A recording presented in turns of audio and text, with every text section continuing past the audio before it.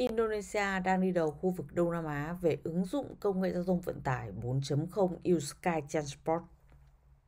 Mới đây, hệ thống giao thông thông minh ITS của chính phủ Indo đã ký hợp tác với tập đoàn Suzuki Technology để phát triển loại hình giao thông hiện đại và phù hợp bậc nhất cho quốc gia này, tập trung cho chiến lược phát triển kinh tế và tầm nhìn dài hạn về sau. Dự án đầu tiên tại thủ đô Jakarta dài 8 km, tiếp theo là nối hai đảo Sumatra và Java, những hòn đảo đông đúc, dân cư và có nhu cầu vận tải lớn.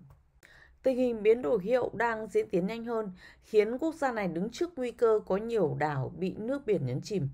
Áp lực về dân số và giao thông đè nặng buộc họ phải di rời thủ đô về Nusantara. Công cuộc chuẩn bị cho thủ đô mới đã bắt đầu với việc áp dụng công nghệ giao thông trên cao UST. Song song với việc thực hiện các dự án đã ký kết, tập đoàn Suzuki Trinh Technology đang gấp rút hoàn thiện hai loại hình vận tải hạng nặng cho hành khách và hàng hóa, dự kiến hoàn thành vào mùa xuân năm 2023 tại UAE.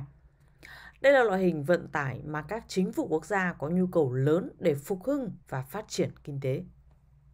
Công nghệ giao thông thông minh Usky Transport được các nhà cầm quyền UAE xem trọng tới mức họ nói đây chính là bảo bối quốc gia. Dự kiến sau khi những đoạn đường đầu tiên đi vào hoạt động, những cổ đông của tập đoàn này sẽ nhận được cổ tức trước khi việc niêm yết cổ phiếu trên sàn giao dịch chứng khoán được diễn ra.